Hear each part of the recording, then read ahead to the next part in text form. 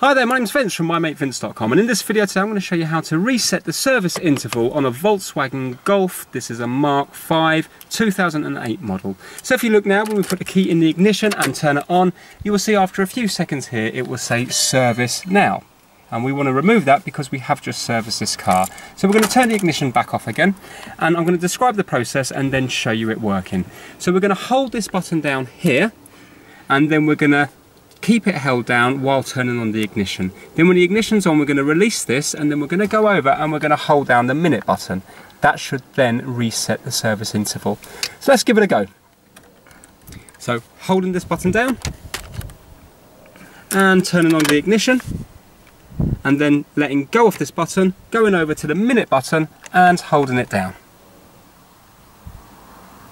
Okay, now I'm going to release that and now let's turn off the ignition and see if that service thing has gone.